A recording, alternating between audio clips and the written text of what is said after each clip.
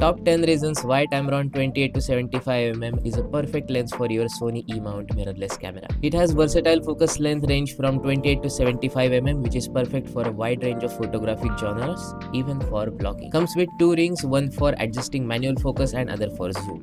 It is super lightweight and features fast aperture of f2.8 allowing for exceptional low light performance and background blur. The action button can be used for auto manual focus toggle, focus lock, etc. Comes with USB-C port for firmware upgrades with your computer. The lens delivers outstanding optical performance ensuring edge-to-edge -edge sharpness. Equipped with the innovative VXD linear motor focus mechanism, the autofocus is both high speed and high precision. Close-up shooting capabilities have been significantly improved achieving a minimum object distance of 0.18 meters at 28 mm. The lens introduces groundbreaking features such as the ability to reverse the direction of the focus ring. Bonus reason, it is is the budget lens under $800 so grab yours. Link is in the description and comments